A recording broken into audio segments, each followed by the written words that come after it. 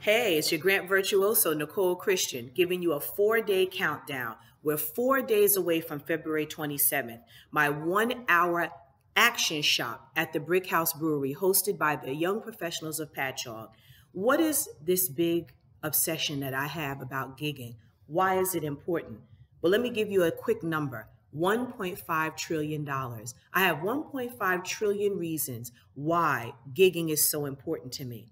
1.5 trillion is the collective debt of student loans held by 44 million Americans. So 1.5 million dollars in student loan debt is our collective debt for 44 million Americans that went to school, college, or got training.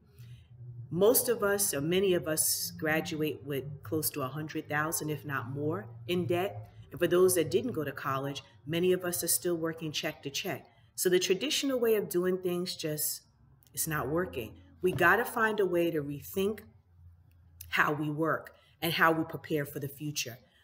Come out on February 27th. I'm going to give you some tools that you can take immediately to figure out what you're good at, who will pay you for it, and how you can create a gig. Those three things. Come out on the 27th, be a, bring a friend, 6.30, the action shop is at no cost. It's hosted by the Patchogue Medford Library.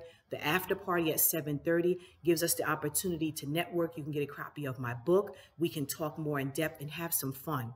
Grab a copy of my book, Gig Life, an owner's manual to work in part-time as a passion and on the side. This is your Grant Virtuoso, Nicole Christian. I'll see you on the 27th.